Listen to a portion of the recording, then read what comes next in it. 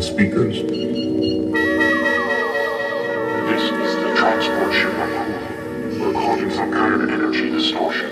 We can't break free. Even immediate help is tearing us apart. We're picking up a distress call, Captain. The ships are bearing at 310 mark 215, distance 3 light years.